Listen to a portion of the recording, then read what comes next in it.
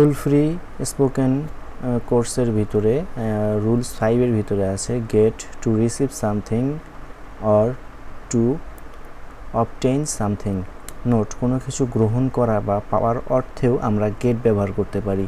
আমি তোমার চিঠি পেয়েছি, যেমন আই গট ইউর লেটার সে একটি নতুন চাকরি পেয়েছে।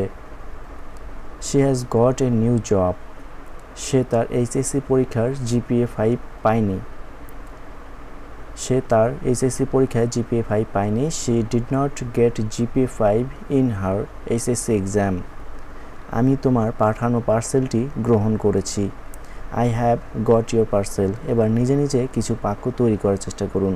এবং আমাদের এই স্পোকেন কোর্স যারা দেখতেছেন তারা অবশ্যই আমাদের চ্যানেলটি সাবস্ক্রাইব করে রাখবেন। সবাইকে আসসালামু আলাইকুম। সবাই ভালো থাকবেন, সুস্থ থাকবেন, আমাদের চ্যানেলের সাথেই থাকবেন।